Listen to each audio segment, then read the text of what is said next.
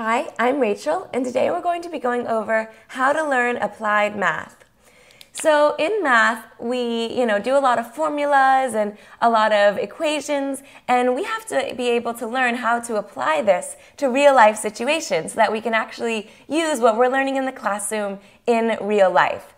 An example of this is with shapes in geometry, um, different formulas like perimeter and area. So let's look at that.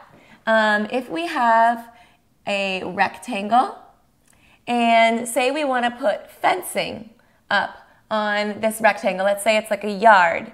Um, your backyard, you want to put a fence up. Well, then you can find the perimeter and you can use your math and apply it to the situation.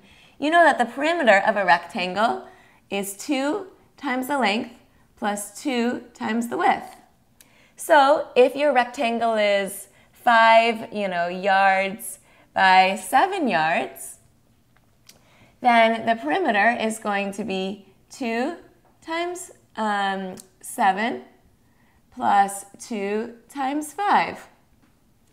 So that's 14 plus 10, which ends up being 24.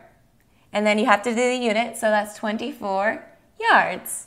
And that's just one example out of many of how we can apply math to our lives. I'm Rachel, and thank you for learning with me today.